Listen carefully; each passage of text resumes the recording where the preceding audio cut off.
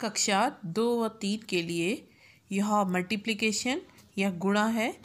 इसको कैसे करते हैं बच्चों? देखिए, जैसे टू थ्री को मल्टीप्लाई करना है टू से, या ट्वेंटी थ्री तेईस को गुणा करना है दो से।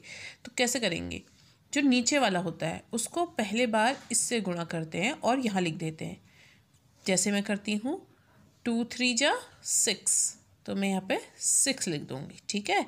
या फिर आप कैसे कर सकते हो, दो तियाँ छः और फिर इससे हो गया आप इसकी बारी आई।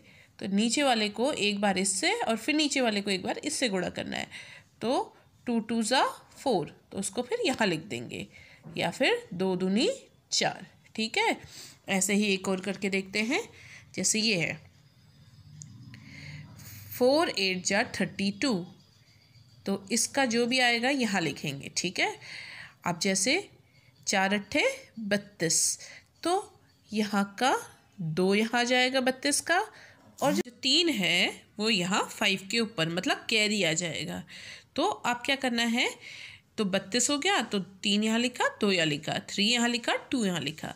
अब फिर वही चीज़ जैसे हमने यहाँ करी थी, फिर इसको हमने इससे कर लिया तो इसको हमने इससे करना है। फोर फाइव ज़ा ट्वेंटी या चार पंचे बीस। अब ट्वेंटी आ गया, अब ऊपर थ्री है ना तो ट्वेंटी में थ्री को ऐड कर दो या जोड़ दो। तो बीस और तीन कितना हो गया, तेईस? या twenty plus three twenty three तो यहाँ पर आप लिख दोगे ट्वेंटी थ्री ठीक है? ऐसे ही एक और देखो। ये सेवन फाइव ज़ा थर्टी फाइव या सात पंचे पैंतीस। पैंतीस का पाँच यहाँ फाइव यहाँ और जो थ्री है वो इसके ऊपर, ठीक है? इसको हमने इससे कर दिया। अब इसको हम इससे करेंगे, ठीक है? सेवन सिक्स ज़ा फोर्टी टू फोर्टी टू में थ्री ऐड किया।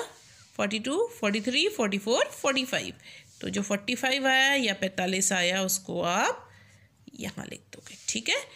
तो ये आपके मल्टीप्लिकेशन हो गए हैं।